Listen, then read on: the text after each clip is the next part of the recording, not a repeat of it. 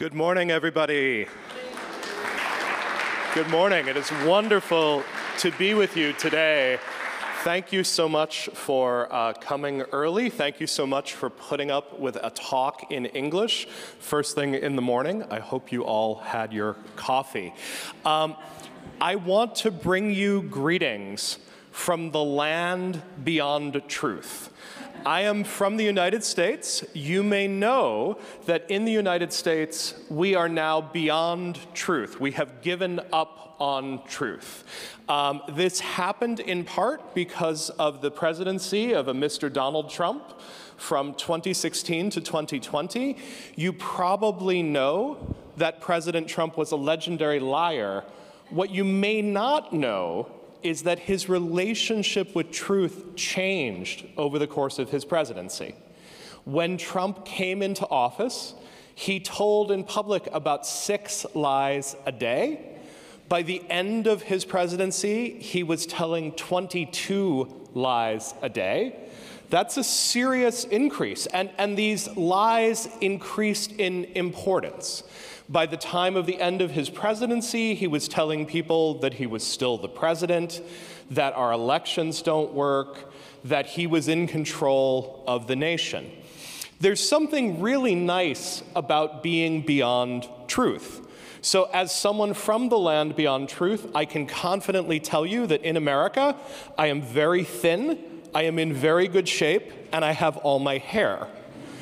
But for people who are not from the land beyond truth, what has been happening in media is that we have very got, gotten very interested in the process of fact checking. We are very concerned that in our civic and our political life, that if we lose touch with the truth, that democracy itself will be under threat. And there are moments that this is true. You experienced this in Germany during coronavirus where some people who decided not to be vaccinated, some people who decided that coronavirus was not serious, ended up spreading a great deal of mistruth about the virus. But we also found out something very challenging, which is that fact checking is hard to do. When people want to believe a particular thing, sometimes giving them the truth doesn't actually make a difference people will pick up whatever truths they find most valuable and most important. And so, for people who are in public broadcasting, for people who are in public media, we're at this very strange moment. It feels like what we should be doing is holding on to truth, trying very hard to fight for truth. And what I want to say to you today is I actually think that that is the wrong focus. It is not that I don't believe in truth, it is not that I think that truth is not important, but I actually think there's something that's at least as important. And to explain this to you, I'm going to go back to, at this point, a fairly old book. So, this book from Jürgen Habermas comes out in Germany in 1962. We don't get it in the United States until 1989. Actually, it's a very long time before these ideas make it over into the United States. But when it shows up in the United States, it's like a bomb goes off, right? It's so important. I'm in university at this point. Everybody in university is trying to read this book. Um, even Americans are trying to pronounce the word uh, Öffentlichkeit. We don't do very well with it, but we try. We're trying to understand this notion of the public sphere. And the reason the public sphere matters is it solves one of the oldest problems in democracy. How do we go from being people around the world who are subjects to a king to people who take care of their own government, who rule themselves. This happens really quickly in societal terms. It's almost overnight.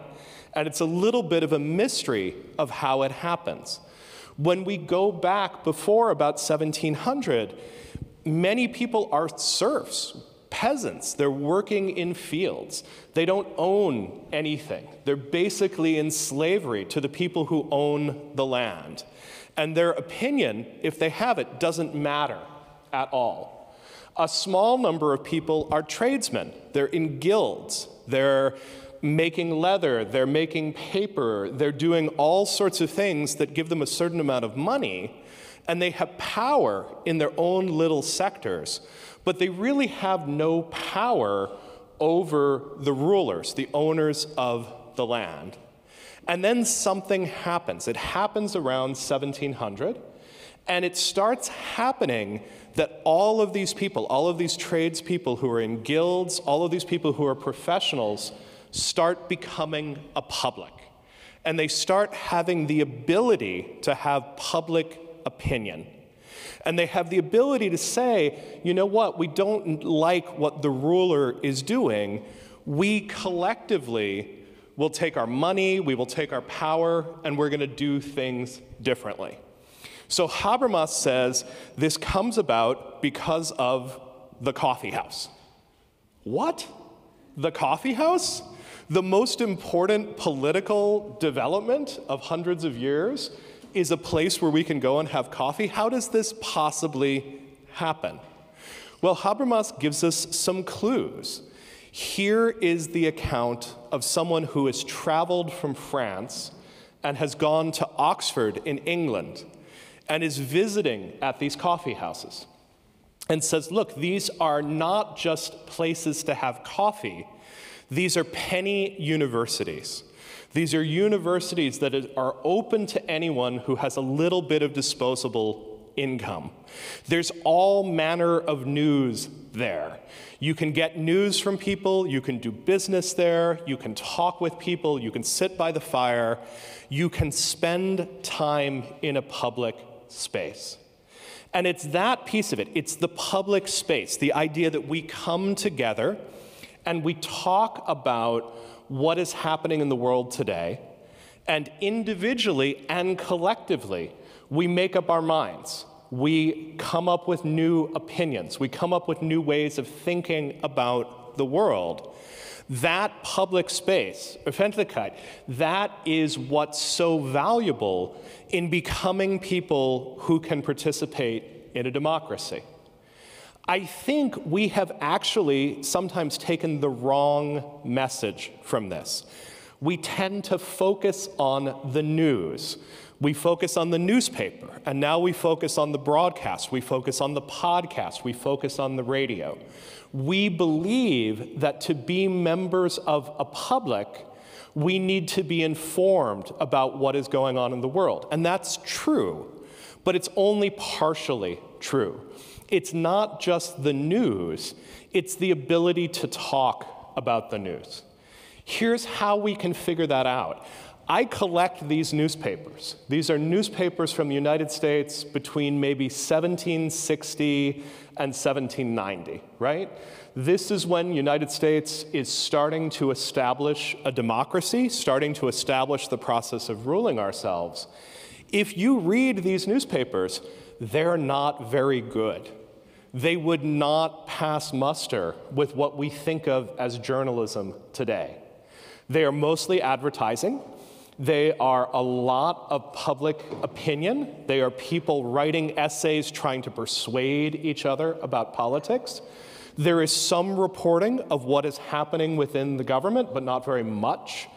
And there's huge amounts of false news. If you look back to this moment in time, there's no journalistic ethics, there's no profession of reporting, and people make things up all the time. So, how do we get democracy when it turns out that our news is not very good?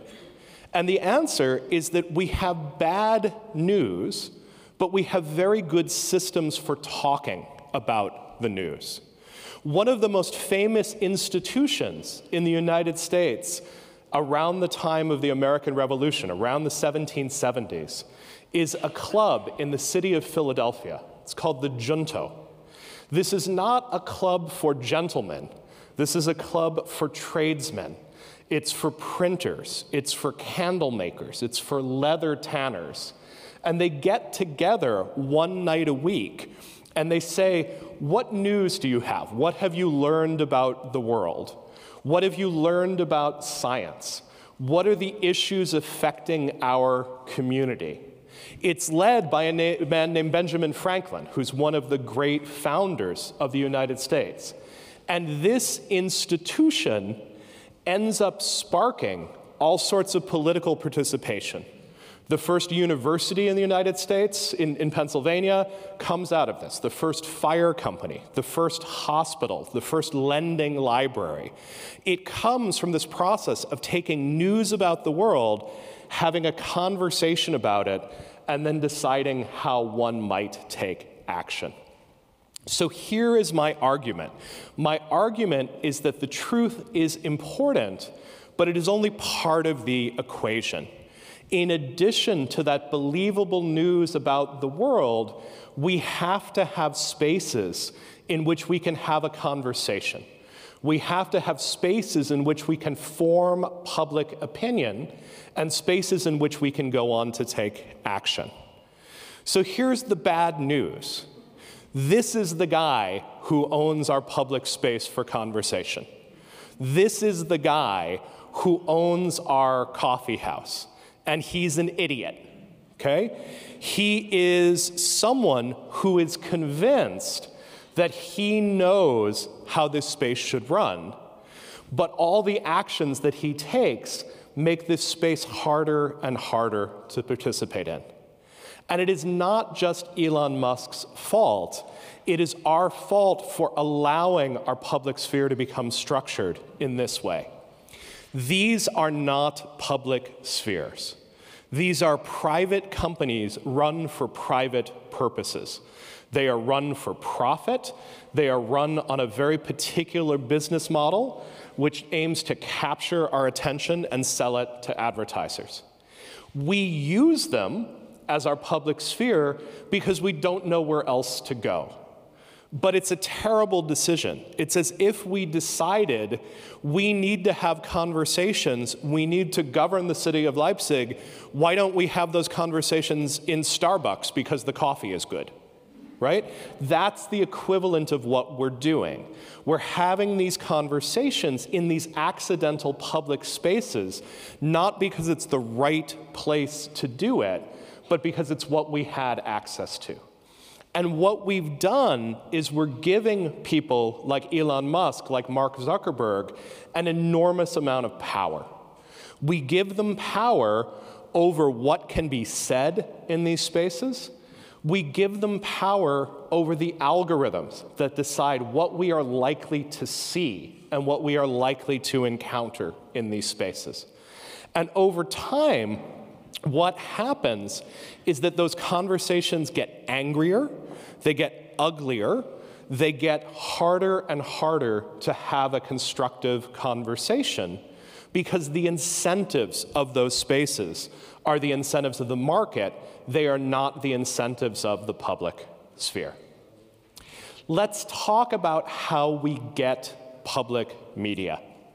Public media, in a very real sense, starts on a particular date. It starts in 1926 in England. England is having a general strike. Everybody is on strike in support of the coal miners who are making less and less money. The newspapers are all on strike. There's no news coming out. One of the very few institutions that is not on strike is this brand new organization called the BBC, the British Broadcasting Corporation. And the BBC in 1926 does something incredibly rare. They put on the radio the prime minister to talk about what's going on, to talk about the general strike. And this is quite radical, right? We're hearing from a leader directly. We're hearing the voice of the leader in real time. But they also put on leaders of the labor movement, the people who are actually leading the strike. And so what you have on BBC is the establishment of a new kind of entity. It is not in service of the government, it is in service of the public. If it was in service of the government, you would only be hearing from the government saying, please end this strike now. It is destroying the nation. But what you have instead is someone who is serving the public and serving public opinion and giving voice to the opposition at the same time.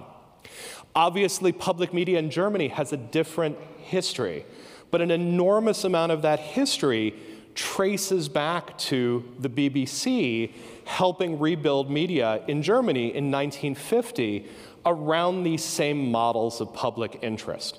Not in the interest of the government, but in the interest of giving people information and giving people a space to make up their minds, to form public opinion. Here's what's happening now. Whatever content we are creating as broadcasters, whatever news, whatever information is out there, we are putting it out on the broadcast airwaves and we are saying, here's what to know about the world.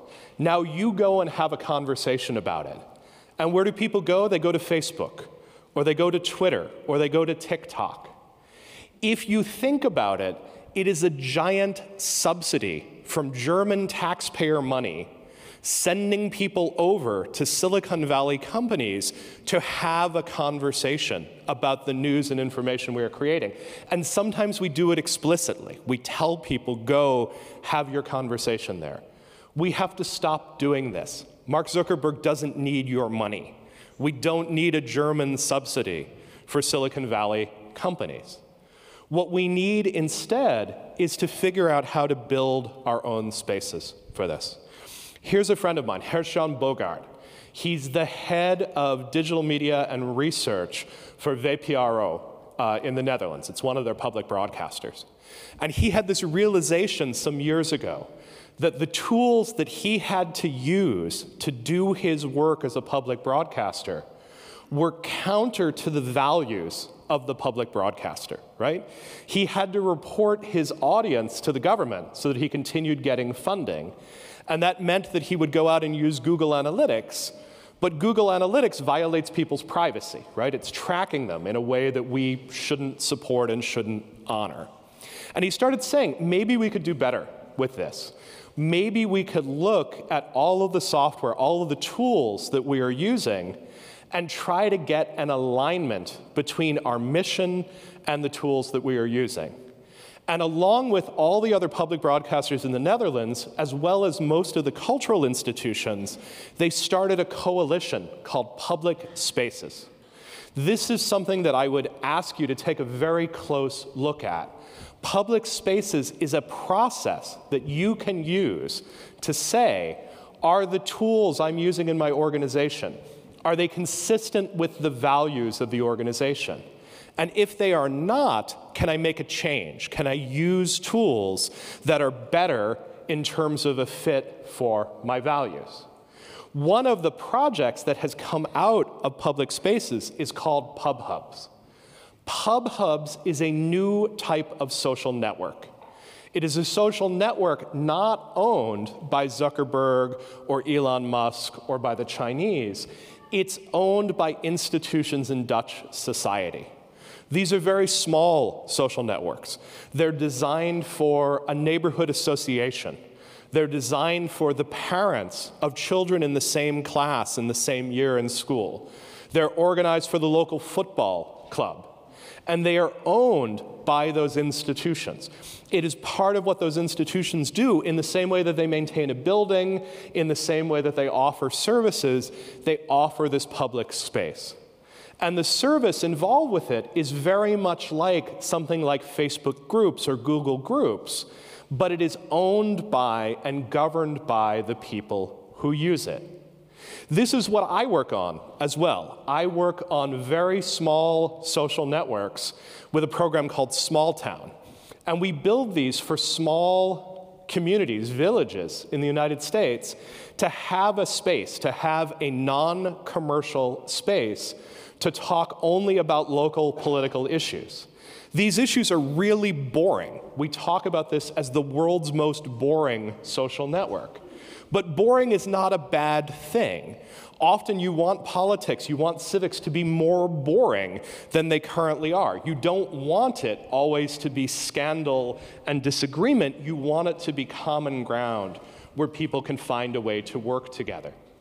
These networks are not expensive to run. They cost a few hundred dollars a year. And they are the sort of thing that can make media organizations much stronger. We are building them in our community around community media. We don't really have public media in the United States, we have voluntary media. And these are small nonprofit organizations that are providing media for communities. And this is a way to start moving into digital conversation if you want people to use these small social networks, you have to do something else. And this is more complicated. You have to build apps that can compete with the apps that we have on our phone. The Twitters, the Facebooks, the Instagrams, these are beautiful and well designed applications. And they suck our attention all the time. And we can't imagine that people will turn them off. It's not reasonable to ask people to turn them off. What we have to do is build better tools to let people use that existing social media. So we are building a tool right now in my laboratory which lets people use Twitter, lets people use another network called Reddit, as well as this new social network Mastodon, as well as some of these smaller social networks that we're building and it gives the user much more control than she has right now over social networks. Right now, when you use Twitter, Elon Musk decides who comes up first in your feed. That's the wrong way to do this. You should have the ability to decide who comes up first in your feed. You should be able to look at all of your social networks in one place and have control over how the information reaches you. This is a tool called Gobo. We're going to be releasing this in the next six weeks as a way to start having more control over the social networks. And at the heart of it is this notion that you should be able to choose the algorithm that you use to sort your social media. Rather than having that be an opaque black box that is controlled by a company that you have no control over, you should be able to choose between different algorithms.